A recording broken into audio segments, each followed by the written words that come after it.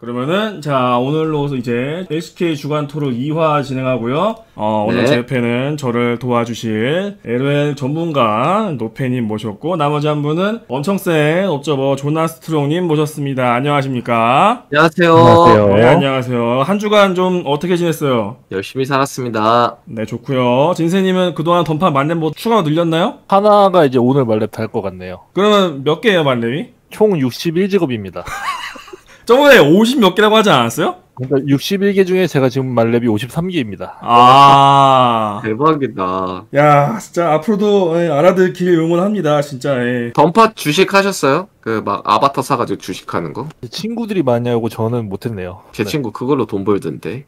제 친구들도 그걸로 잘 나가는 애들 많아서 좀 약간 배가 아프더라고요. 아니 뭐. 막 아니 진짜로 막 100만 원씩 박으면은 막 어느새 3배 돼 있고 그러던데. 아, 제가 옛날에 네, 배그 이거. 치마 그렇게 판 적 있어요. 확실한 주식입니다. 성공하는 주식. 그럼 만렙 늘리지 말고 그런 거나 구매하세요. 돈이나 좀 벌고. 아 저는 뭐 그 게임으로 돈 버는 거에 별로 관심이 없어가지고. 아, 이미 돈을 많이 버니까 이번에도 뭐 진세 아. 그 옵저버 스튜디오 세금 오지게 나갔다고 하던데 역시 클라스 있네. 이야. 강퀴님 그 집 있는 거는 세금 안 나와요? 아니, 탑이지 나가죠. 그 집 가지고 있으면 그 집 집세인가 뭔가 내야 되지 않아요? 그? 이 내야 되잖아요. 자, 아무튼 그래서 이게 이제 금주의 순위표고요. 담원기아가 1등, 젠지 네. 한화생명, DRX 아프리카까지가 서부 리그고 막차 플레이오프 막차인 6위는 공동 순위가 랭크돼 있네요. 그 밑으로 이제 T1, 리브센박, 프레딧 브리온이 정리가 됐습니다. 순위표 보면서 뭐 패널분들 드는 생각 같은 게 있나요? 아니 그 조나스트롱님 카톡 하신 거 못 보셨어요? 어, 뭐 했는데요? 그 제가 롤붕이답게 이슈 있는 거를 툭 던지면은 강키님이 이제 쉬는 시간에 얘기하는 것처럼 얘기해 주시면 될 것 같아요. 아, 별 얘기 안 한다니까요. 노페님은 쉬는 시간에 별로 얘기를 안 하시더라고요. 아, 니 저는 조용히 하고 있죠. 네, 근데 뭐 아, 저 오늘도 별 얘기 안 했잖아요. 확실해요? 까요? 어제 오늘 까? 아 오늘 솔직히 그래요 진세님 딱 봤을 때 순위표에서 아 이거 좀 의외인데 혹은 뭐 이렇게 갈 줄 알았다 뭐 이런 감상이 있을까요? 원래는 뭐 DRX랑 T1이 위치가 반대여야 되지 않나. 사실 그게 정배죠? 아프리카는 드디어 이제 원래 예상했던 경기력이 나오는 것 같고. 오 예상했다고요 이거를? 캐스파컵 때 전패했는데 테스트하기 전에. 그니까 딱 팀 로스터 발표됐을 때 얘기하는 건데 그냥. 아 캐스파 하기 전에 그때 한 5, 6위쯤 할 줄 알았다 프로 만점권이라고 생각했어요 저는. 근데 강키 해설님 네. 해설하실 때도 그런 얘기 항상 하시잖아요. 뭐요? 아프리카 프렉스는 라인전 잘하는 거 보면 충분히 할 수 있는 팀인데 지금 뭔가 문제가 있다. 그거 해결하면 올라올 수 있는 팀이다. 이렇게 말씀하시잖아요. 근데 여러분 원래 중계할 때 그 긍정적인 멘트는 약간의 그 이제 거품이나 포장지가 좀 들어갈 수 있기 때문에 너무 또 예, 곧이곧대로 받아들이시면 조금 곤란합니다. 그러니까요. 쉬는 시간에 다른 말 하시잖아요. 아 그만하라. 자 그래서 이제 아프리카가 이 정도 할 줄 예상하셨고 그 외에는 뭐 T1이 좀 부진하고 있는 거 빼고는 다 예상대로다. 네 그런 것 같네요. 노페님은 순위표 어때요? 생각했던 거에서 의외로 좀 안 되고 있는 팀은 리브 샌드박스 같긴 하네요. 어. 크로코 선수가 보여줬던 그 캐스파컵에서의 희망찬 모습도 있었지만 페이트 선수 정도면 괜찮게 하는 선수라고 생각하는데 좀 많이 뒤처지고 있어서 확실히 요즘이 하체 meta구나라는 걸 좀 새삼 깨닫게 만드는 팀이 아닌가 예, 개인적으로 생각하고 있습니다. 동의합니다. 요새 미드만 게임인 건 맞는데 하체 힘이 좀 많이 들어간 게임인 것 같긴 해요. 원딜 캐리가 좋아져가지고. 저는 순위표 보면서 저도 약간 T1의 부진 이게 오늘 이겼으면은 그래도 나머지 대진 이제 좀 편한 편이니까 쭉쭉 치고 나가지 않을까 싶었는데 오늘 패배가지고 뼈 아프긴 한 것 같고 아프리카는 생각보다 전 잘해주고 있는 것 같아요. 제 생각보다는. DRX도 생각보다 선전해주고 있다. 이 정도? 그거 말고 사실 큰 변수 이변은 없는 것 같네요. 담원기아가 지난주 굉장히 이제 불안했던 그런 장면들이 몇 개 있었는데 잘 추스리고 올라온 건지 또 하나 세면전 경기력 보니까 좀 많이 다시 폼이 올라온 느낌이 들긴 했거든요. 담원기아는 어떤 것 같아요 이번 주에? 브리온한테 질 때랑 이제 그 이전에 불안했던 모습에 비해서 쇼메이커가 일단 말도 안 되게 돌아왔고 그냥 다시 돌아왔다기엔 뭐 한 판 못한 거니까 뭐 하루 못할 수도 있지 뭐 그리고 칸이 그리고 이제 라스칼이랑 이제 한체탑 매치에서 상대적으로 좀 우위를 보여주지 않았나 저 그렇게 생각하거든요 뭐 어? 퀸으로 뭐 칸과 라스칼이 한 채탄 매치인 겁니까? 아닌가요? 도란도 어떻게 좀 도란 선수는 한 번 혼났잖아요. 에이 라스칼한테 혼난 거 그것 때문에 그러면 칸 선수가 서열 정리를 좀 했다? 뭐 일단 요 날에 한해서는 일단 우위를 보인 거 아닐까요? 일단 1등 자리를 잠시 동안 차지하고 있는 게 아닐까요? 그러면 지난주에 이제 진세님이 날카롭게 파고드신 질문이 캐니언이 너무 좀 손을 믿고 게임하는 것 같다. 그런 얘기가 있었고 공감을 많이 샀는데 이번 주에 그런 건 좀 어떻게 수정이 좀 된 걸로 보였나요? 본인이 리플레이 보면서 그런 거 잘 찾잖아요. 담원 경기가 너무 전반부에 있어서 잘 기억이 안 나네요. 아 근데 딱히 생각나는 게 없는 거 보면은 아, 무소식이 희소식이다. 솔직히 담원 경기 기억나는 거 와 쇼메 잘한다랑 와 칸 잘한다 퀸으로 063 피오즈 맞는 거 보고 고스트도 그리고 뭐 안정적으로 해주고 베릴이 그리고 세라핀 되게 잘하더라고요. 아, 그 전멸궁 진짜 멋있더라. 네. 궁전멸인가 뭔가 아무튼. 궁전멸. 세라핀 사기 좋아. 같아. ban 하는 거 보면은 지금도 할 수 있는 사람 정해진 것 같긴 한데 할 수 있는 팀은 이득 보고 있는 듯? 그 노페님 담원기아 이번 주 경기 어떻게 봤습니까? 어떻게 하다 보니까 weekly commentary 담원 기아만 세번 해가지고 아하. 너무 친해졌어 팀이랑. 그래서 뭔가 더 정이 가는 느낌인데 확실히 폼이 저번 주에 비하면 이제 올라오는 모습들이 계속해서 보이고 있었고 그 중심에는 당연히 칸 선수의 그런 묵직함이 있었고 칸 선수를 보면서 그런 생각은 확실히 들었어요. 아 이게 나이가 들면 뭔가 썩어 들어간다라는 표현이 저희는 직접 체감을 했잖아요. 잘 알죠? 그거랑 상관없이 전성기 시절을 구가하듯이 플레이하는 거 보면서 와 쩐다? 약간 감동? 이런 것들을 좀 많이 느꼈던 것 같고 뭐 쇼메이커 선수, 캐년 선수는 원래 꾸준히 잘했었고 뭐 캐년 선수가 이런저런 사고들이 있기는 했지만 많이 다시 또 돌아오기도 했고 딴 거보다 이 하체 meta에 적응할까 싶었던 그 바텀이 그래도 꽤 폼이 많이 올라온 것 같아서 되게 희망적이지 않나 싶어요. 성공적인 한 주였다. 네 이번 한 주는 뭐 최고의 한 주였지. 저도 그래서 담원기아는 프레딧 브리온이 되게 고마울 것 같아요. 이게 코칭 음. 스텝이 바뀌면서 예, 아무래도 선수들이 우승한 선수들이다 보니까 자기 고집이 좀 셀 거 아니겠습니까? 약간 뇌피셜이 들어갈 수밖에 없겠지만 그런 환경에서 이제 한 대 세게 퍽 얻어 맞으니까 그걸 보고 있던 이제 꼬마 감독과 만두 코치가 지금이다 하고 이제 deal time을 잡은 거죠. 그걸 통해 좋은 피드백으로 교정에 들어갔고 맞아. 그게 경기력가 바로 나온 게 아닌가. 참 좋은 타이밍에 적절하게 잘 얻어맞은 것 같아요. 담원 기아는. 원래 약팀한테 맞으면 확 정신 차리긴 해. 순위 경쟁 할 것 같지도 않은 팀이라서 그리고 그러니까요. 그치. 약팀 입장으로 때려봐서 아는데 맞으면 다음 주에 강해져서 돌아오더라고. 그 다음은 이제 젠지입니다. 젠지. 참 뭐랄까요. 약자에게는 자비가 없는 것 같아요. 특이사항으로 클리드가 들어가고 플로리스가 나왔죠. 네. 자르반 콩자반 나왔죠. 카이사라서 이제 안 나오겠지 하고 있는데 썼어요. 그래서 라인전 터지고 콩자반 어쨌든 유틸 서폿으로 분류하는 게 맞는 것 같은데 또 그런 챔피언 상대로 라칸이 초반에 도움이 안 되다 보니까 그냥 아예 박살 나버렸거든요. 라인전이. 콩자반. 그렇죠. 이거 다른 팀도 어떻게 써볼 수 있지 않을까요? 막말로 저는 오늘 T1도 쓰레쉬 픽만 아니었으면은 자르반이 서폿으로 가지 않았을까라고 생각하긴 해요 저는. 각이 나왔었다. 근데 이게 쓰레쉬가 자르반 상대로 EQ로 들어오는 것도 찾을 수 있고 대여번 갇힌 것도 빼올 수 있고 이래서 정글로 돌린 게 아닐까. 그럼 건자니 잘 보시기에 이 콩자반이 칼리스타와 네. 떼놓고 봤을 때도 쓸 수 있는 걸까요? 아닌 걸까요? 단순히 리브 샌박과의 경기가 팀 네. 간 격차 생각해서 보여주기식 ban pick이라고 생각하는지 핵심은 이거거든요. 보여주기는 절대 아닐 것 같고 콩자반이 쓰레쉬 상대로도 좋아요. 그러니까 한타 구도로 넘어가면 쓰레쉬한테 카운터 맞는 거는 무조건 팩트고 라인전 단계로만 따지면 쓰레쉬가 원래 짤짤 support한테 좀 약하거든요. 의외로. 그쵸. 저도 오늘 경기 보면서 혹시 support 자르반으로 쓰나 싶었는데 그런 건 있죠. 아무래도 조냐 템트리를 타는 서포터라서 앞라인을 단단하게 채워주는 챔프는 아니다 보니까 지금 젠지처럼 막 오른 탑 같이 들어가주는 판테온 이런 거랑 같이 섞어 써야 좋을 듯? 혼자 들어가면 그냥 추하게 터질 게 뻔하기 때문에 같이 네. 핑퐁 쳐줄 탱커가 있어야 되는.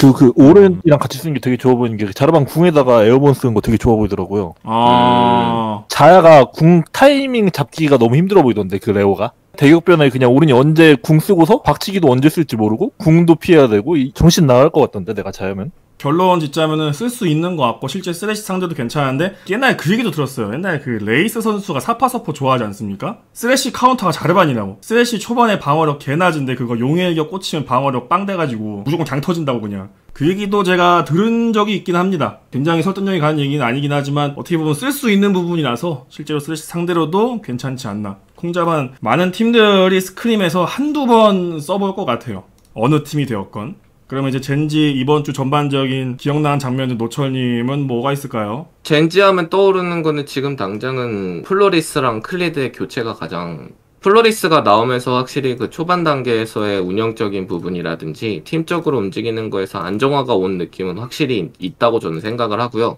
그런 와중에 아무래도 플로리스 선수가 그렇다고 막 한타에서 클리드 선수만큼 그러니까 상대적으로 비교해 봤을 때 뭔가 퍼포먼스가 이렇게 강한 편은 아니라고 생각해서 클리드 선수도 이를 갈면서 준비를 하고 있지 않을까 생각하고 있습니다. 그래서 플로리스 선수가 잘하는 모습들을 보면서 플로리스 선수의 장점을 흡수하는 과정이 있을 거라고 생각하고 플로리스 선수는 주전 잡은 김에 이제 감독 코치님들도 믿어준다는 인터뷰도 했었으니까 되게 좋은 기회 잡은 것 같아서 보면서 되게 뿌듯했던 것 같아요. 왜냐면은 중국에 있을 때 상대 팀으로 만났던 적이 많아가지고 똑똑한 jungler다라는 생각을 많이 했다 보니까 음. 괜히 반갑기도 하고 젠지는 전체적으로 저점은 낮은 팀이죠. 확실히 약팀 상대로는 정말 강한 모습들을 보여주고 있는 것 같고 체급대로 게임한다는 느낌이 제일 많이 드는 팀이 젠지다 보니까 약팀한테는 뭐 자비가 없고 말씀하신 플로리스와 클리드에 비교돼서 꽤 많이 공감을 하는 게 어쨌든 플로리스 선수가 있을 때에는 안 좋은 쪽 변수가 거의 안 터지긴 하거든요. 결국에는 무력적인 부분 이런 싸움을 잘한다는 부분은 또 피할 수 없는 거고 기본적인 센스라는 게 우승팀은 super play가 나와야 되거든요. 필요할 때. 그런 의미에서 보자면은 뒤에서 보고 있던 클리드가 플로리스의 스타일을 흡수하고 서로가 하나로 되는 합체를 해서 최종적으로는 클리드가 플로리스 역할까지 같이 하는 게 젠지한테는 스프링 최종 목표가 아닌가. 뭐 개인적으로 그런 생각은 드네요. 그 다음은 이제 한화생명인데 한화생명이 지금 4승 라인에 들어가 있거든요. 심지어 경기력도 지금 상당히 좋은 편이고 한화생명이 뭐 관계자 사이에서 상위권 갈 거다 갈 거다 말은 있었는데 실제로 순간적으로 1등까지 찍으면서 굉장히 좋은 분위기 이어나가고 있어요. 한화생명 이번 주 경기력에 대해서 데프트 pick이 세나가 좀 많이 나왔었죠. 네 맞아요. 베인 나오고 베인을 좀 많이 쓰지 않나요 한화가? 맞아요. T1이랑 9번 썼어요. 베인 pick에 대한 의문들이 많이 찍히고 있는 것 같은데 그때 하는 베인 pick이 좀 의아했다는 거죠. 구도로 봤을 때. 저는 뭐 괜찮은 pick이라고 생각하고 있긴 해요. 저는 베인 자체 pick은 이때가 베인 세나 그 게임이죠. 와 오른쪽에 우디르 사이온 있고 굉장히 혼란스러운 베인 pick이었네요. 그래서 이 베인 pick이 그 큰 그림을 미리 그려놓고 한 pick인 걸까요? 아니면 그냥 어쩌다 보니까 그냥 베인 하자 이렇게 된 건지. 돌린 거 아닐까요? 그냥 그러니까 뭐 세나 자체도 이미 뭐 돌리는 거 염두해 놓고서 미리 뽑은 거고 네. 상대 픽을 보니 이거는 세나 아지르론 답이 없다 싶으니까 저 돼지들을 도저히 세나 딜로는 뚫을 수 없다. 네 그 외에 뭐 하나생명 경기력에 대한 얘기들은 뭐 따로 뭐 있을까요? 없어요? 초비하고 끝이야? 대초비 그렇게 해도 인정이긴 해. 어. 특패 참 잘하더라고요. 특패는 볼, 볼 때마다 느끼는 건데. 아 재미 있었습니다 그때 실제로.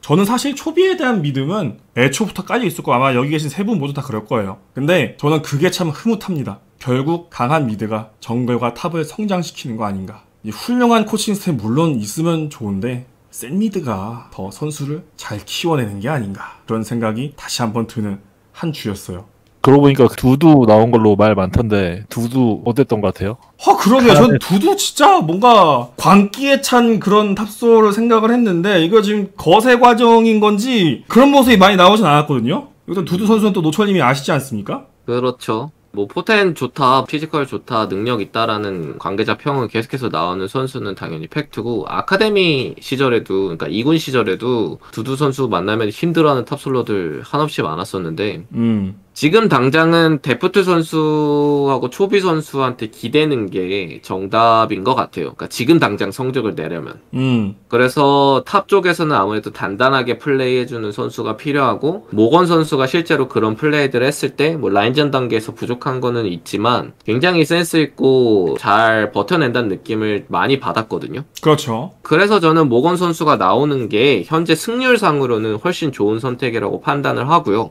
아주 개인적인 생각이지만 제가 모건 선수 직접 지켜보진 않았고 두두 선수만 봤으니까 어떻게 보면 편견일 수는 있어요. 네. 그런데도 불구하고 만약에 상체 meta가 온다는 가정을 해봤을 때에는 두두 선수에게 충분히 기회가 쥐어져야 된다고 생각하고 성장했을 때 그 포텐 가능성을 놓고 보면 진짜 잘할 선수라고 저는 개인적으로 생각을 하기 때문에 좀더 시간이 필요할 것 같아요. 그러면은 지금 두두와 모건이 교체로 계속 출전을 하는 것도 충분히 의미가 있다고 보시는 거네요. 당장의 어. 승리를 위해서는 모건이 좀 나와주는 게 맞긴 한데 두두에게도 실전 경험을 쌓아서 나중에 바뀔 meta에도 대비하는 게 좋으니까 근데 뭐, 뭐, 저는 음. 그 내부 사정을 모르니까요. 왜 출전을 모건 선수가 4연승 했는데 왜 모건이 안 나오고 두두가 나오고 두두랑 모건을 scrim을 시켜봤을 때 누가 더 가능성이 있고 이런 거는 제가 직접 볼 수 있는 게 아니기 때문에 저희 다 그래요? 다 그냥 추측성인 얘기들 뿐이고 네, 여기 다 결국에 구라요, 님들. 선택은- 네. 결국의 선택은 감독 코치가 하는 거고 그 감독 코치의 선택에 따라서 결과가 나오겠죠. 그게 뭐 스프링이 됐든 서머가 됐든 맞습니다. 모건 선수가 W에서 굉장히 좋은 성적을 낼 때에도 top 잠그고 bottom 위주 게임 좋아했거든요. 거기서 두각을 드러내서 좋은 평가를 받은 거기도 해서 어쨌든 지금 당장 bottom이 센 meta에서는 모건이 나오는 게 말씀하신 것처럼 당장의 성적에는 도움이 될 수 있겠는데 top에서 이제 휘두르는 게 필요한 meta가 올 때가 있단 말이에요. 그리고 상대에 따라 팀 간 상성을 뒤집기 위해서라도 전략적 가짓수도 많아지면 굉장히 도움이 되기 때문에 저도 두두 선수는 뭐 충분히 키워볼 만하다 생각이 들고 있고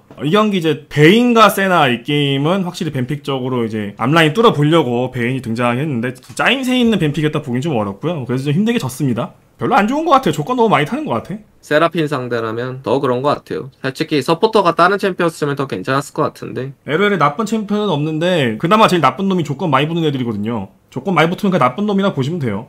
신지드는 나쁜 놈인가요? 그게 나쁜 놈이죠. 조건이 너무 많이 붙는데. 근데 왜 항상 고르죠? 제가 나쁜 놈이니까요. 아 오케이 원챔 못된 놈 원챔충은 랭크의 무법자 원챔충은 안적인 존재야. 어, 있으면 안 돼, 그래도 랭크에.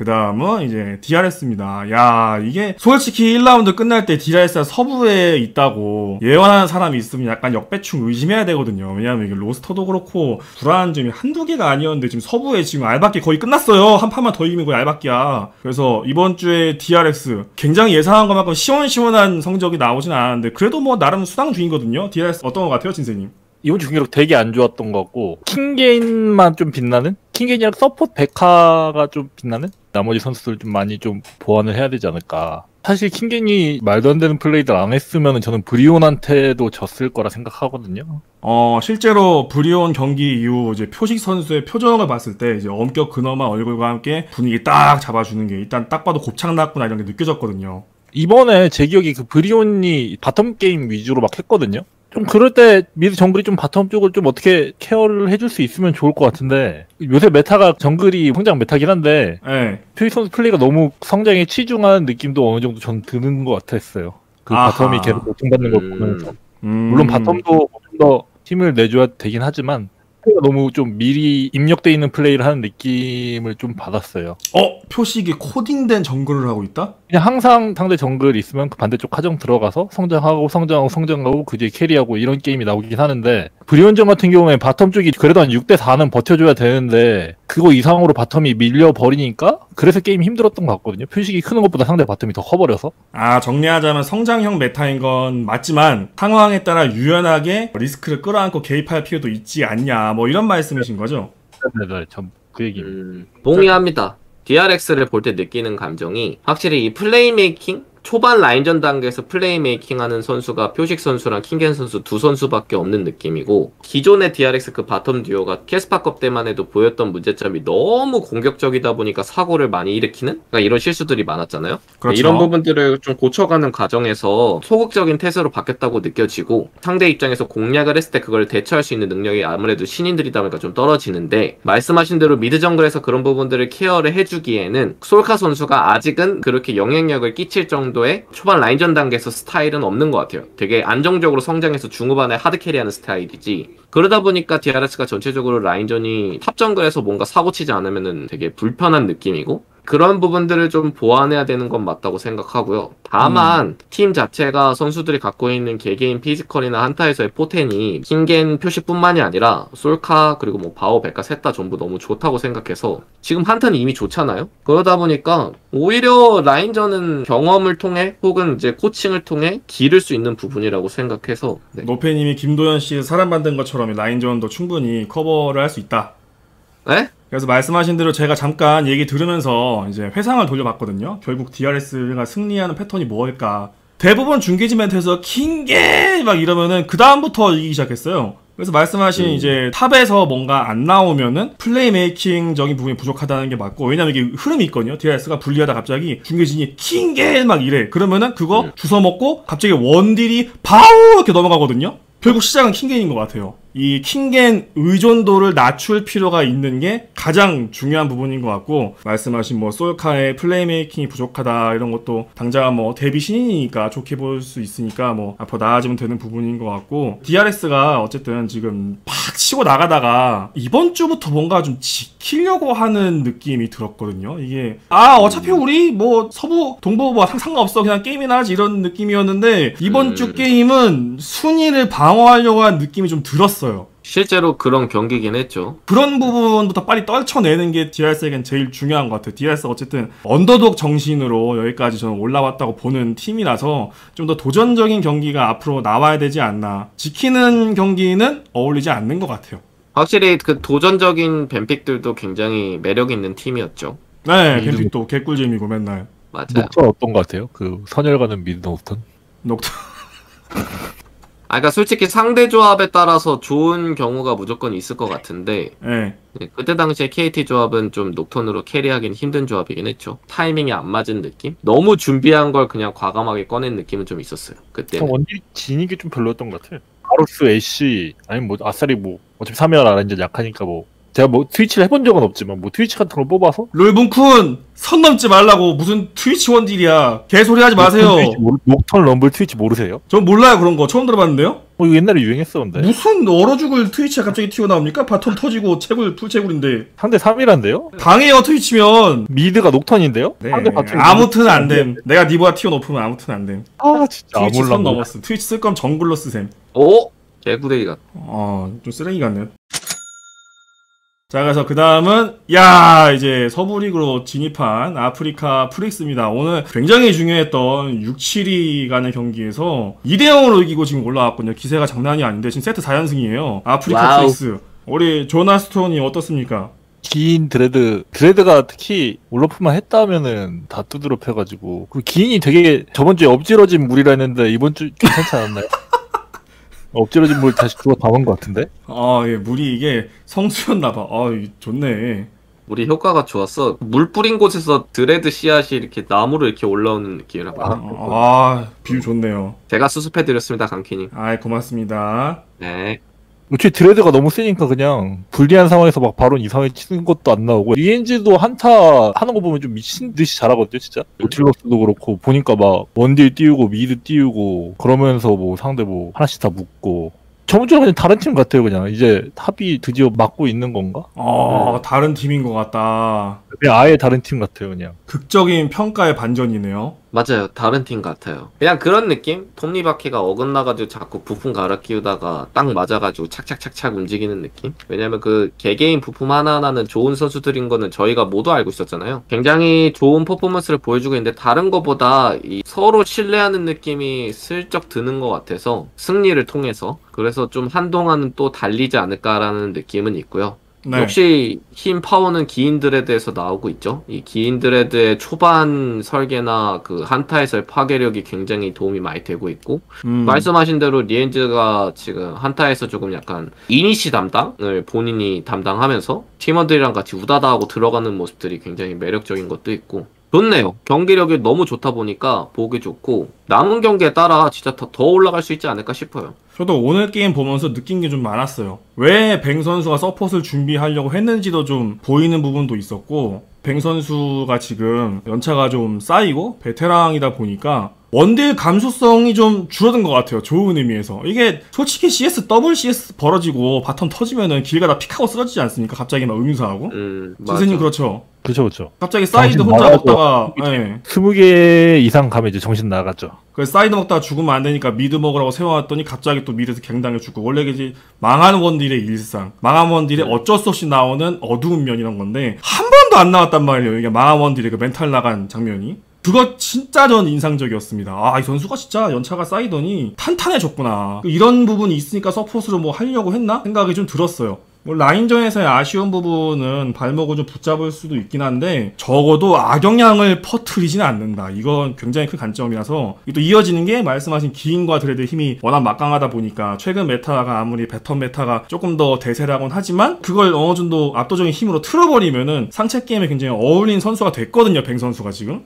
그런 쪽에 시너지가 나면은 아프리카 입장에서도 더더욱더 이제 높은 곳을 노릴 수 있지 않을까 생각이 좀 들었습니다. 플라이 선수도 사실 오늘 별로 언급은 안 했는데 mid 견제에 많이 당한 것 치고는 진짜 잘한 것 같아요. 뭐 서폿이 파이크에 판테온에 네. mid 찌르는 pick들이었는데 그러니까요. 사실 그 아프리카 계속 게임 비벼질 때 보면은 플라이가 이상하게 한 번씩 죽는 그런 장면도 있었는데 이번 주엔 딱히 그런 장면도 기억나는 거 없는 것 같아요. 상대가 자원 투자한 거에 대비 엄청 잘한 것 같아요. 그리고 뱅 선수 자야가 약간 요즘 대세pick 된 것도 큰 것 같아. 어, 본인 약간 signature pick이잖아. 맞죠.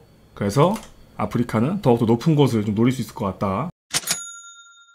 그 다음은 이제 현재 공동 6위에 랭크되어 있는 농심 레드포스입니다. 오늘 경기 이제 이기면서 어떻게 좀 6위권 싸움에 다시 들어왔거든요. 특히나 덕담 켈린 bottom duo가 엄청 눈부셨는데 일주일간 농심 레드포스 어땠는지 진세님. 농심이 처음에 어디랑 했었죠? 농심이 아프리카한테 0대2로 지고 트럭을 만났네. 또 오늘 이병 왜 웃으시죠? 왜 웃지? 아, 야, 트럭 트럭이- 맞지? 야 트럭에 덤프 트럭도 있고 이사 트럭도 있고 어? 어? 지금 이사 트럭이란 트럭도 말씀이세요? 어느 트럭인지는 모르는 건데 왜 웃으시냐고요. 그니까요. 아니 트럭이라는 에, 게 말... 덤프 트럭일 수도 있죠. 아니 저는 트럭이라는 네. 말은 듣는 아프리카의 기인 선수가 너무 흐뭇해서 그렇습니다. 아 그렇게 아. 삭감수성으로 또 회피를.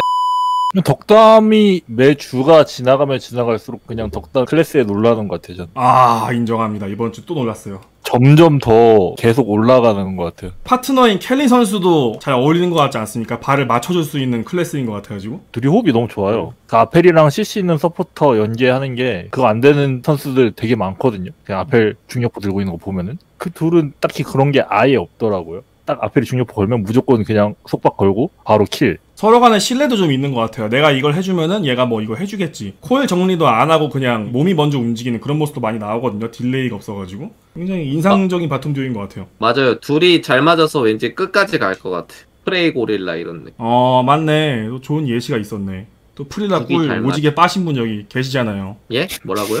농심 레드포스 얘기 끝났나요, 진세님? 리치가 탱커를 하니까 게임이 좀 더 확실히 안정적으로 보였어요 오늘. 버스나 탔단 얘기인가요? 일단은 bottom 버스를 타는 게 맞지 않을까요? 저도 약간 동의합니다. 아니 네. top solo 출신님이 버스 타는 게 뭐가 부끄럽죠? 그러니까요. 이게 버스 타고 top 차이 치는 게 영원한 낙 아닙니까? 그거지. 가끔 이제 거지 탑솔러들이 무슨 1대1이 중요하다는 헛소리를 하는데 여러분들 진짜 탑솔러는 버스 타는 거 가장 좋아합니다. 라인전 개털리고 버스 타는 게 행복해. 매 순간 짜릿하거든. 살아있으면 느낍니다.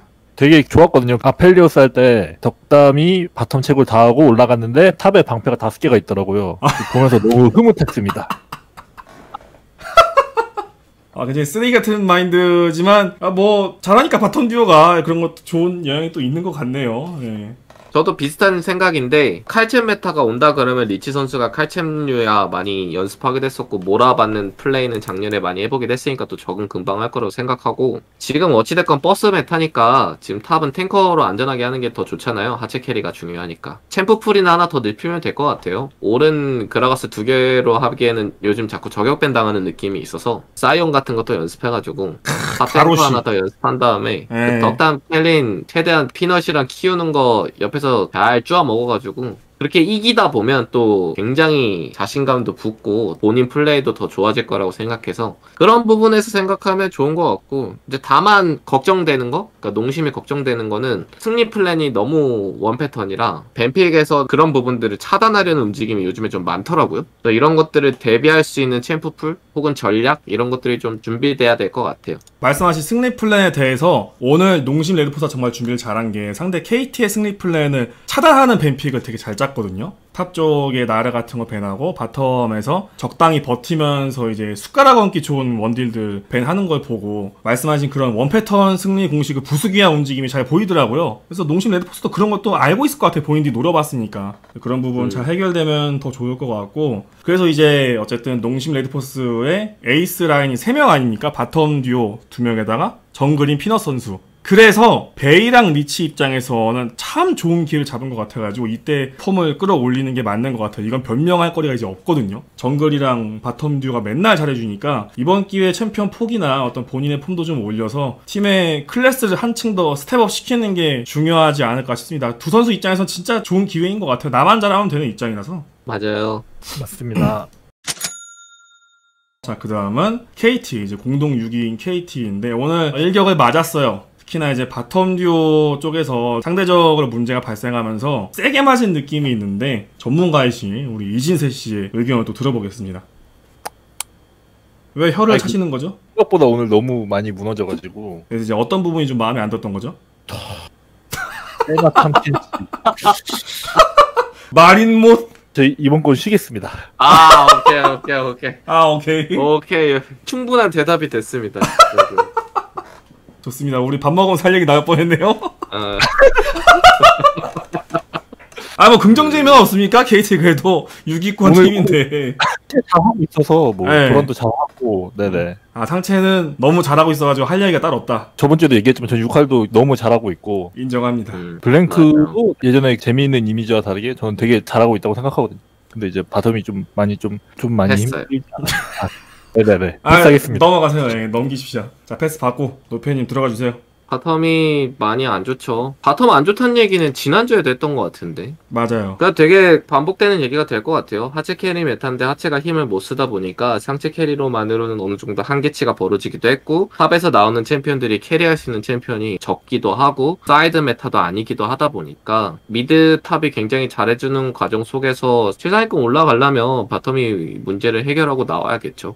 뭐 비슷한 세나- 말씀이시네요. 예. 세나 켄치 한 순간 좀 많은 생각이 들었습니다. 아, 이 팀의 bottom이 지금 어느 정도의 입지고 이거를 고를 수밖에 없는 이 현실이 팀의 그거를 대변하는 것 같아서 아, 마음이 좀 그랬고 준비 잘 해야죠. 멘탈 잡고. 내가 캔치파는 좀 약간 좀 아다리가 좀 안 맞긴 했어요. 그리고 올라프 하필 6렙이 찍혀가지고 근데 전 보면서 켈린 선수가 포식자 쓰레쉬 하는 거 보고 그냥 잡아먹을 생각 하는구나 싶더라고요. 세나 켄치에게 우리가 죽어도 질 수가 없다 이런 생각을 하고 들어온 게 좀 보여가지고 이론상 좋긴 해요. 앞에 상대로 세나가 나쁘지 않고 쓰레쉬한테 끌리는 것도 이제 탐켄치가 어쨌든 먹어주고 막 그런 거 할 수 있으니까. 그래서 원래 또 쓰던 챔피언이 사미라 많이 좋아하지 않았습니까? 저 근데 사미라도 bottom 그냥 잠그는 선택이라 보거든요. 사미라가 요즘에 거품이 좀 꺼져서 실체가 좀 드러나고 있는데 라인전에서 뭐 할 수 있는 것도 없고 본인이 뭐 먼저 움직인다고 어디 뭐 개입할 수 있는 능력 있는 것도 아니고 누가 뭐 밥상 잘 차려주면 그거 이제 주걱으로 푸는 능력이 좀 탁월하다 이거라서 원래도 맞아요. bottom에서 예, 뭐 하려고 했던 팀은 아닌 것 같아요. 챔피언 pick을 보니까. SKT는 좀 힘내주면 좋겠네요. 저도 보면서 느낀 게 최근 top meta가 돼지들이 주류가 되고 있고 돼지들 뚫을 챔프가 너무 제한된 것 같아요. 나르나 뭐 쓸 수 있는 팀이 많지 않지만 그나마 퀸 정도가 있는 것 같은데 나르 ban 해버리면은 뚫는 top 입장에서는 진짜 별로 할 게 없거든요. 그런 부분이 KT에겐 굉장히 좀 힘든 부분이 아닌가. 도란이 차력쇼 할 때도 대부분 보면 나르였으니까. 차력쇼 다 나르였던 것 같은데? 그 정보가 이제 공유가 되면서 아 top 위주 게임 하는 팀은 나를 ban하면 개꿀이구나. 이게 좀 나오고 있는 것 같아요 결과로. meta가 bottom 게임만큼 bottom에서 좀 올라오는 게 제일 중요하겠네요 KT는 뭐가 어찌됐건 간에. 잠그기 좋은 개꿀 pick은 뭐 발견해 오던지. 이런 게 맞아요. 필요해 보입니다. 자 다음은 T1입니다. 오늘 굉장히 중요했던 게임을 안타깝게 패배하면서 여러 가지 말들이 나오고 있거든요. 커뮤니티가 지금 활발하게 이런저런 의견 교류가 되고 있는데 아, 오늘 전반적으로 중후반 운영 단계에서 문제가 좀 많이 발생했거든요. 음. 또 혀를 차시는 이제- 건가요? 이제 super pass 없습니다. 이제 없어요. 아 그런가요? 두분 super pass 쓰실라나 그러면 이번에? 이번 주에 top이 점화 드는 것만 두 게임인가 세 게임인가 본 것 같은데 카밀이랑 음. 아칼리 맞죠? 네네 카밀 한번 아칼리 한 번이었던 것 같네요 네.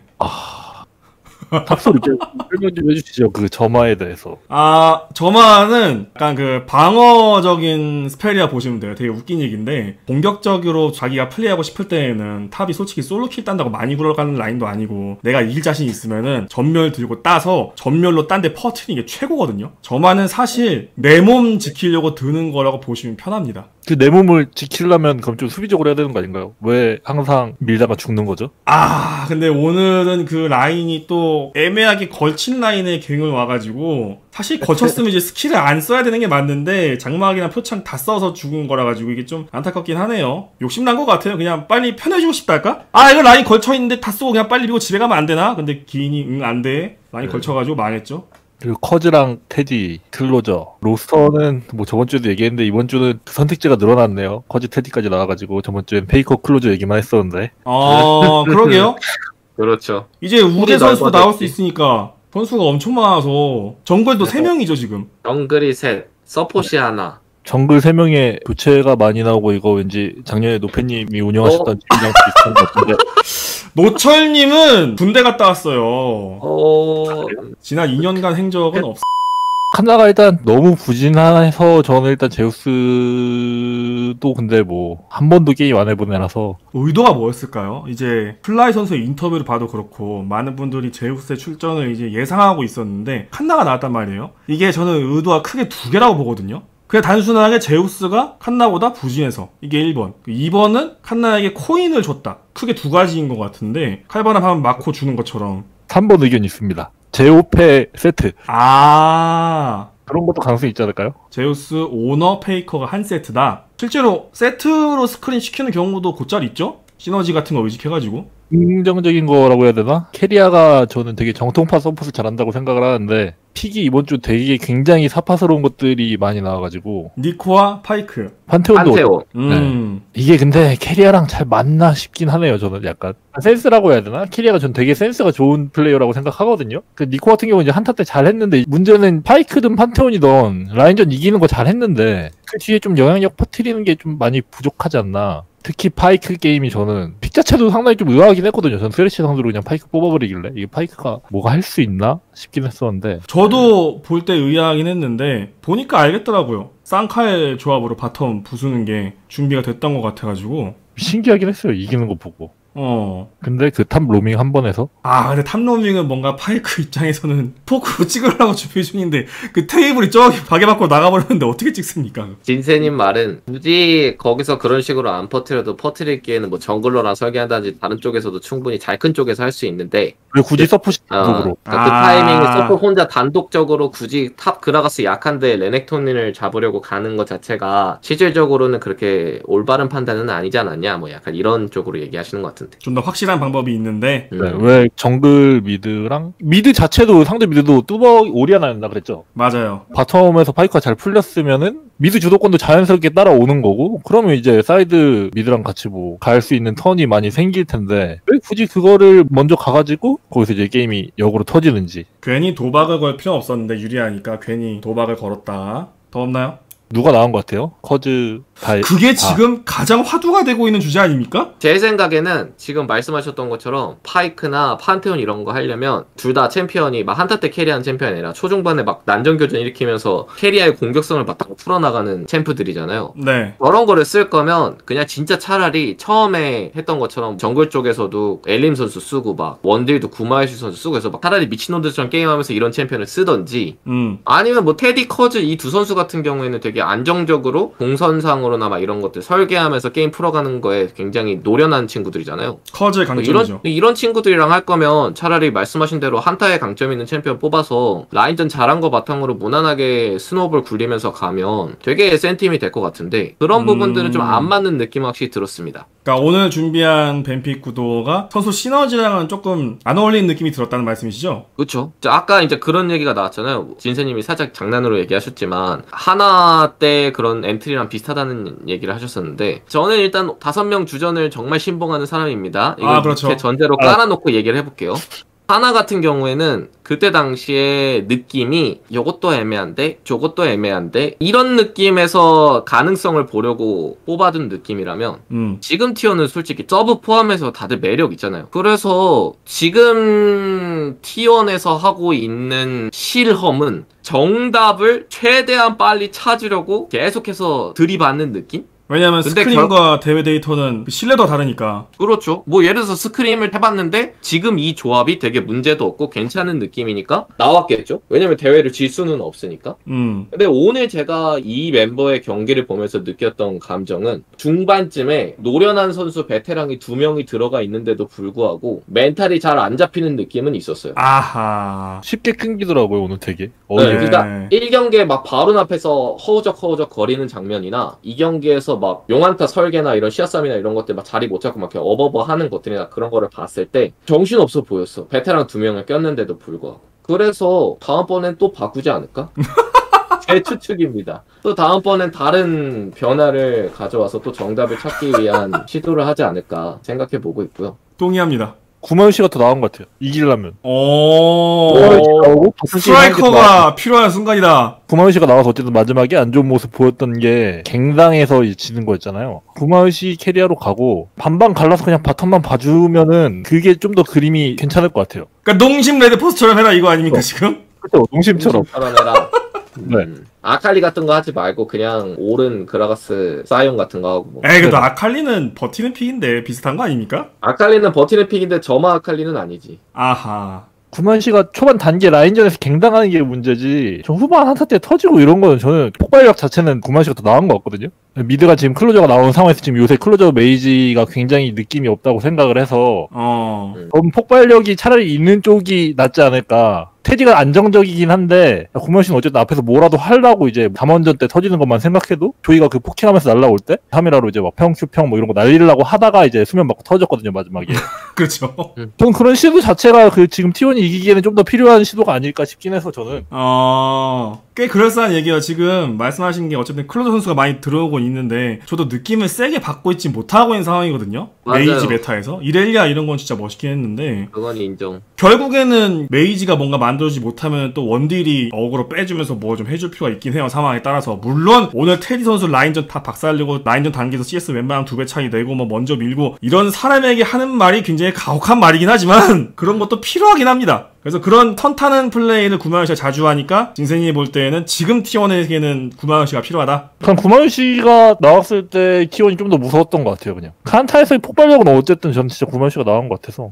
일단 칸나가 솔로 라인에서 1대1이 밀리니까 운영으로 한타를 안 하고 이길 수는 없다고 생각을 하는데 한타를 해야 된다면 저는 한타는 구마유시가 나은 것 같아요 한타를 안 하고 막 운영으로 뭐 사이드를 돌려서 뭐 1-3-1로 해서 이길 수 있다 이러면 저는 그 점에서 이제 테디가 좀 더 왜냐면 1-3-1 상황에서 뭐 mid에서 뭐 물리고 잘리고 이런 점은 더 적으니까. 자 여러분 여기서 교통 정리가 필요한 것 같은데 지금 저희가 얘기하는 이 주제가 테디가 못한다 이 얘기가 아니고요. 상대적으로 top mid의 퍼포먼스가 많이 나오지 못하고 top mid가 먼저 playmaking을 못 해주다 보니까 원딜이 playmaking 해줘야 되는데 그 환경 내에서는 구마요시 적극성이 조금 더 좋은 것 같다. 그렇게 지금 말씀을 진행 중인 겁니다. 근데 딱 그거예요 예.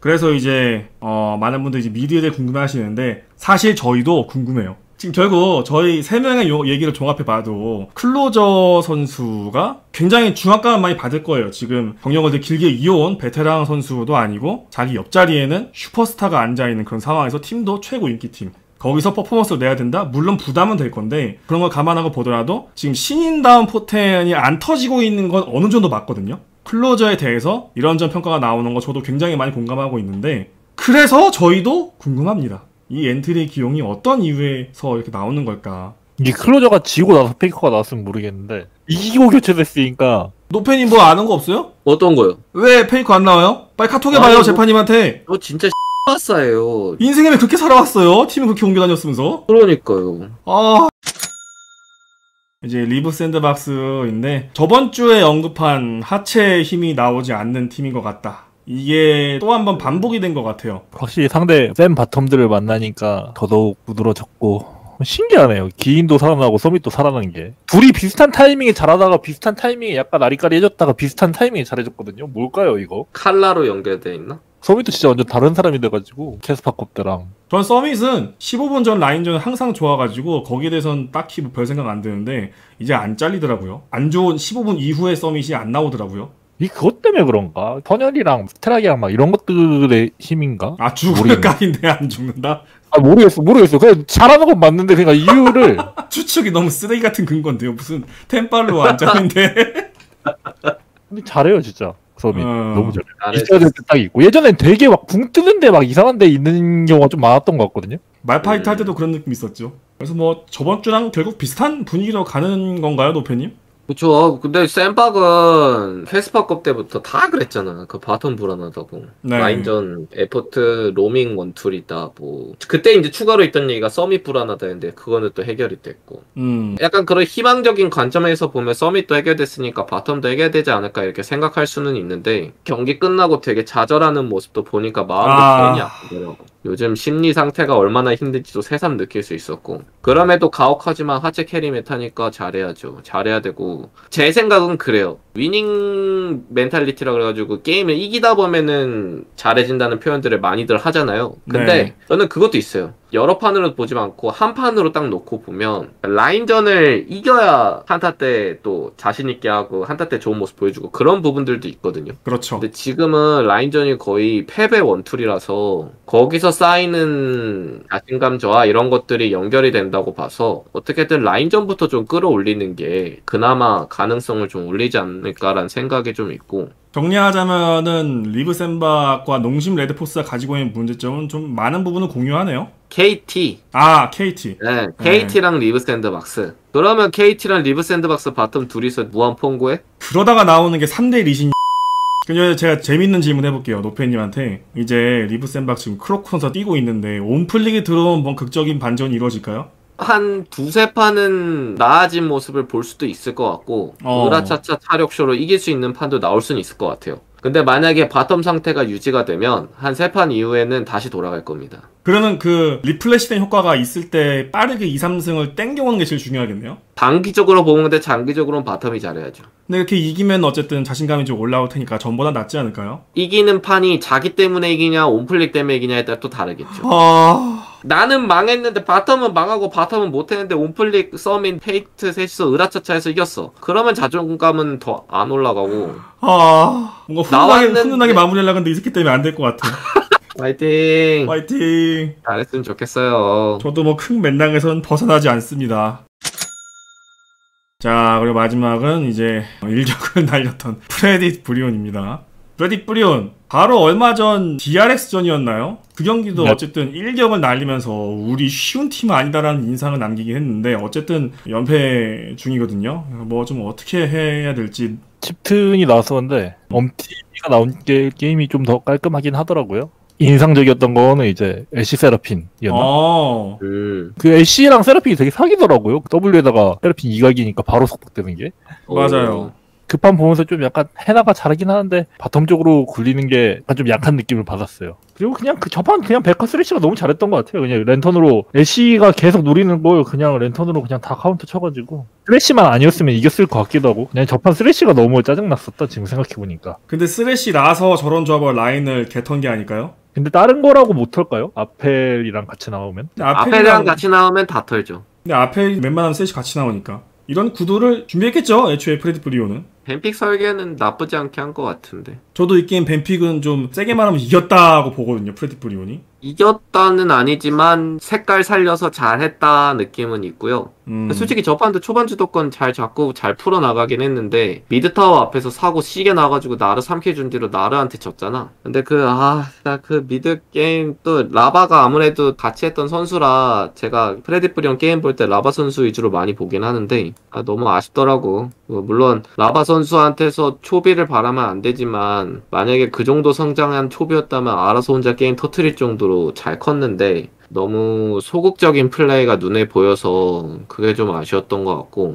이런 얘기 많았어요. 저 라바의 요네가 경기력이 나쁜 건 아니어서 아뭐 라바 잘못은 아니지 않냐 이런 의견도 있었는데 질문을 바꿔서 요네가 초비였다면 이렇게 들어가니까 어? 터진 것 같더라고 게임이 그러니까 일단 이 멤버는 뭔가 초반에 활동력 있고 좋은데 진세님 말처럼 엄티가 나오는 게 확실히 좋아요. 엄티 선수가 자기 중심으로 게임을 공격적으로 막 하중 들어가고 상대 압박하고 이런 그림을 굉장히 잘하더라고요. 그리고 팀을 약간 하나로 묶는 플레이도 좋은 것 같고 치프틴도 제가 개인적으로 아는 친구인데 못한 선수라고 생각은 안 하지만 지금 현재 팀 상황상 엄티 선수가 나오는 게 맞는 것 같고 그런 와중에 이 다음 경기 이 경기에서도 아마 라바 선수가 루시안을 했을 거예요. 근데 네, 그 맞아요. 판에서 결국에는 그 딜라이트 선수가 바론 한타 때 알리스타로 막 나르 본진으로 끌고 와서 한타 대패하고 그다음에 그 mid 중앙에서 뭐 5인 수면 맞췄는데 아 그라가스가 궁 날려가지고 빅토르 이렇게 살려가고 그런 장면들이 많이 부각이 됐잖아요. 그때 5인 수면 맞는 거 보고 갈리오한테 대시 꽂으면서 갈리오를 잡았거든요. full spell 있는 상황에서. 수면 맞은 대상 적 딜러진 쪽으로 파고들 각이 나온 상황이라 그 안쪽으로 파고들면서 두들겨 팼으면 제가 보기엔 혼자 다 죽였거든요. 그게 이거 맞죠?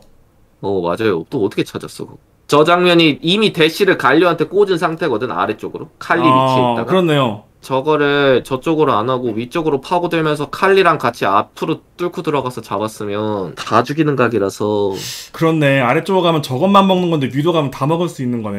그러니까 저 선택 한 번으로 아쉽다라는 표현을 할 수 없잖아요. 그래서 그래 갈리오를 먼저 잡아야 된다라는 콜을 해서 만약에 그쪽 대상을 노렸다면 그 다음 한타에서 나르한테 궁 먹고 죽는 일은 일어나서는 안 됐어. carry력을 기반해야 되는 게 mid니까. carry해야 되는 게 mid니까. 누가 뭐래도 mid는 carry 라인이죠. 그래서 그게 좀 많이 아쉬웠던 것 같아요. 전반적으로 프레딧 브리온 말씀하신 라바의 아쉬운 carry력 이런 것도 좀 아쉬운 부분이 되는 것 같고 호야 선수도 모르겠어요. 이게 상대 조합 보시면은 다 이제 앞라인 좀 부실한 조합이다. 그때 딜 그라가스 올렸거든요 그래서 음. 술통을 그냥 다인으로 대충 히트만 시켜도 누킹한다는 의미에서 한타 기여도를 할 수 있는 그런 조합인데 어중간한 적극성도 좀 나오지 않아서 그런 것도 되게 좀 아쉬웠고 신뢰가 좀 필요한가? 그런 생각도 들었어요. 내 몸을 한 반 정도 던져서 이런 플레이 하면은 우리 팀이 뭔가 해주겠지. 이런 생각을 가지고 있는 게 엄티밖에는 안 보였거든요 5인 수면에 들어가서 맞추는 걸 봐도 그렇고 아무래도 많이 지다 보니까 신뢰가 좀 무너져 있는 것 같은데 이거는 결국 뭐 이기는 것밖에 방법이 없지 않습니까?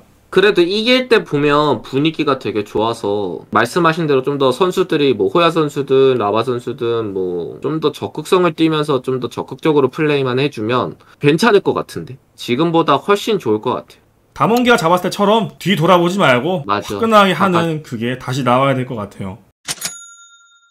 다음 이어지는 네. 코너는 match of the week인데 제가 대충 정해왔습니다. 다음 주 매치가 빅매치를 할 만한 게 뭐 많지는 않은 것 같아가지고 제가 생각한 다음 주 빅매치는 2월 6일에 있는 아프리카와 KT의 경기라고 생각을 하거든요. 2월 6일 두 번째 게임 저게 이제 저는 재밌지 않을까 싶어서 찍어봤는데 동의하시나요? 다른 팀 더 좋은 거 있으면은 저 T1 농심이요. T1 농심 약간 프로 막차 싸움 같거든요. 아 오늘 오. 결과 때문에 저것도 그렇겠네. 그- 그렇게 돼버렸네 갑자기. 야 그럼 옮길까? T1 농심으로? 네. 자 그러면 다음 주 매치는 T1 대 농심입니다. match of the week.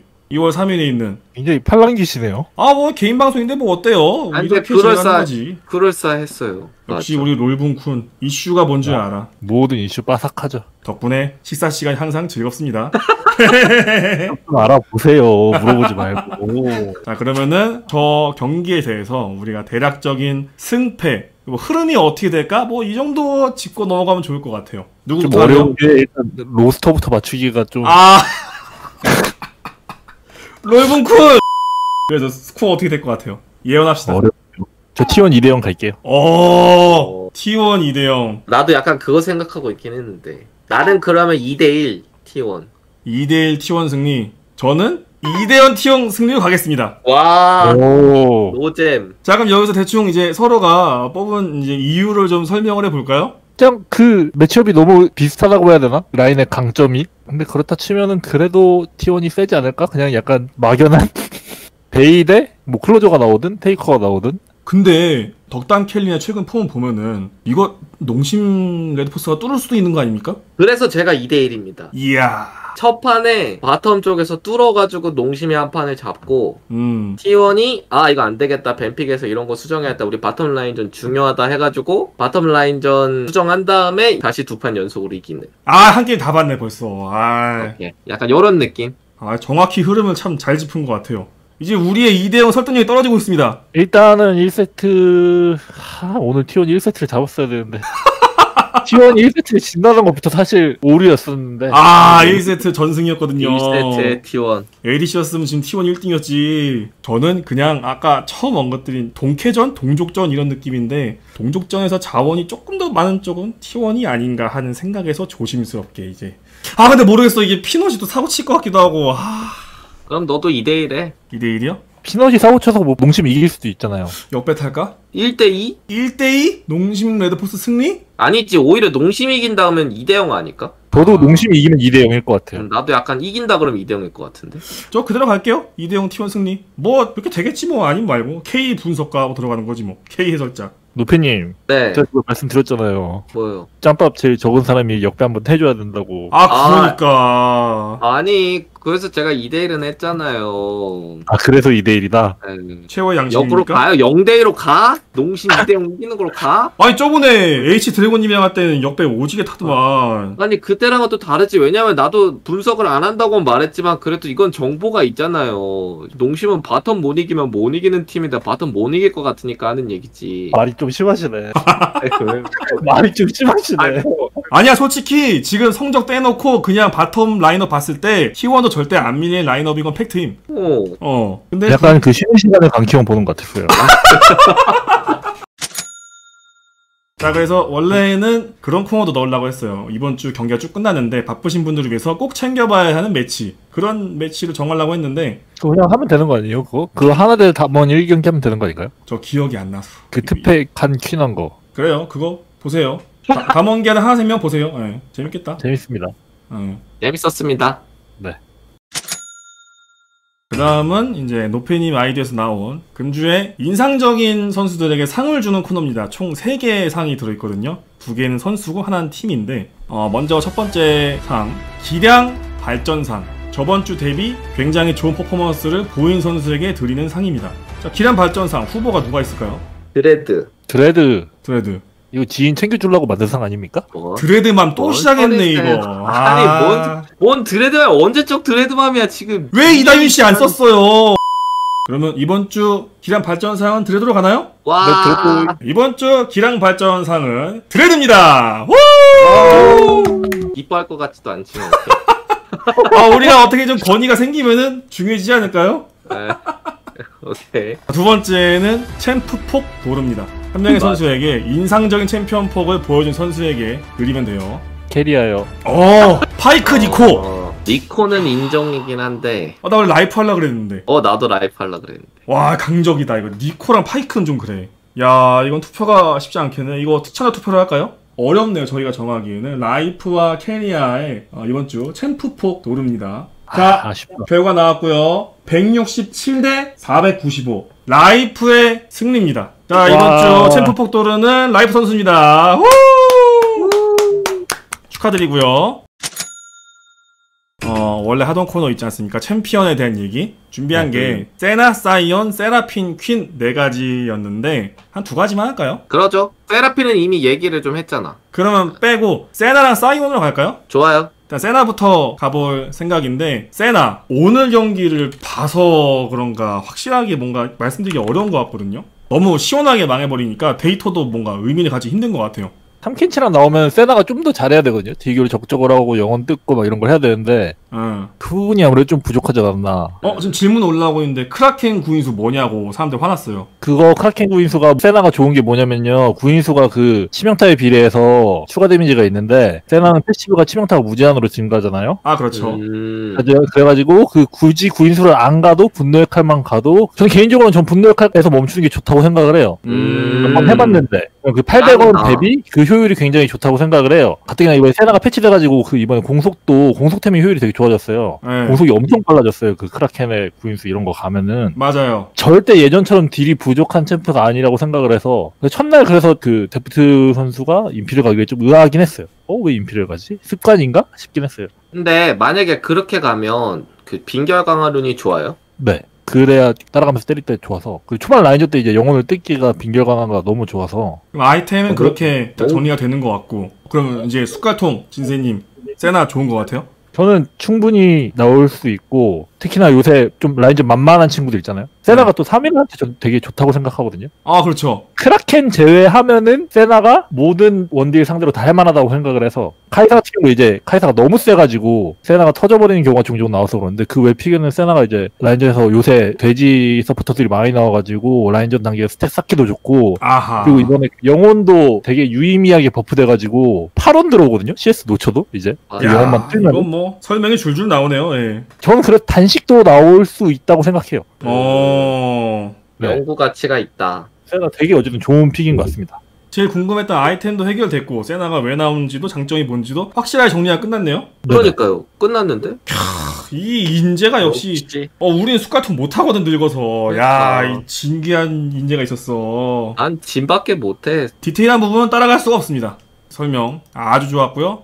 그 다음 친구는 사이온이에요. 갑자기 좀 기용되기 시작한 사이온. 이게 메이저 pick이 될 수 있을까요? 저는 좋은 것 같아요. 어찌됐건 원딜 meta기도 하고 사이온 챔프 자체가 그렇다고 라인전이 약한 챔프도 아니고 오랜만에 만나는 챔피언들에 대한 정보는 다들 없을 거라서 초반에 좀 쓰다 보면 먹히기 시작할 거고 카운터도 막 당장은 찾기 어려울 거고 그리고 또 사이온이 이번에 얼건이랑 터보아봉 터보. 탱크 가격이 싸져서 상황에 따라서 템트리도 계속해서 변동할 수도 있고 저는 지금 meta에 되게 좋은 챔피언 같아요. 그러니까 챔피언이 막 성능이 너무 좋아서 상체에서 무조건 써야 된다 이런 느낌보다는 어차피 top 쪽으로 게임 안 할 거니까 top tanker 뽑을 거면 안 그래도 오른 그라가스 두 개밖에 없어가지고 챔프풀 안 그래도 좁은데 사이온 할 수 있는 팀 있으면 더 매력적이지 않을까요? 말씀하신 사이온이 어쨌든 라인 주도권을 옛날만큼 가져오긴 좀 어려워가지고 라인전이 센 pick은 이제 아니게 됐는데 어차피 돼지끼리 싸운다면은 그게 큰 의미 없긴 하거든요. 그래서 돼지끼리 싸움에서 안 밀리면서 한타 기여 그리고 이니시 변수까지 가지고 있다 보니까 쓸 수 있는 pick은 말씀하신 것처럼 좀 이득을 볼 것 같아요. 특히나 어지러운 맵 상황에서 사이온이 들이박을 수도 있다라는 그 가능성만으로도 상대팀은 굉장히 괴로울 수 있어가지고 특히나 요즘 또 mid에 mage 많이 나오잖아요. 얘네 갖다 박으면 아무것도 못합니다. 사이온 박아버리면. 그런 의미에서도 쓸 수 있는 pick인 것 같아가지고 팀들이 충분히 해볼 만해 보이고 사이온이 만약에 자주 등장하면 또 그거 잡으려고 카운터 연구 되겠죠? 또 그거 카운터 나온 거 잡으려고 딴 챔프도 연구 될 거고 또 그런 신선한 바람도 기대해 볼 만할 것 같네요.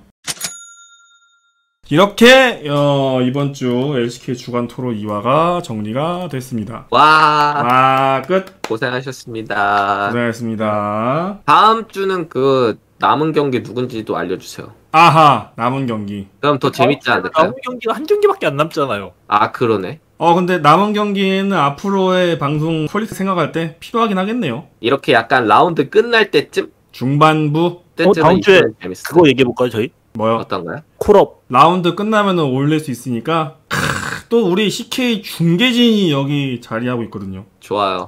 예, 올릴 수 있는 사람 누가 있는지 바로바로 또 물어볼 수 있겠네. 그럼 공부해 오셔야겠네. 아니, 아니, 저희는 이제 누가 내려갈 것 같냐를 얘기하고 로키님 이제 괜찮은 자원 있나 얘기할까요? 아니 그, 그 CK 인재들은 그 노페 해설이 CK 중계 끝나고 정리하거든요. 누구 잘하는 것 같다 네. 이런 거. 그거 보시면 도움 맞아요. 많이 됩니다. 아 이번 주도 고생 많았고요. 저도 다음 주에도 재밌는 얘기 들고 옵시다. 수고하셨습니다. 네, 고생하셨습니다. 고생하셨습니다. 네, 고생하셨습니다 오늘. 네, 들어가세요.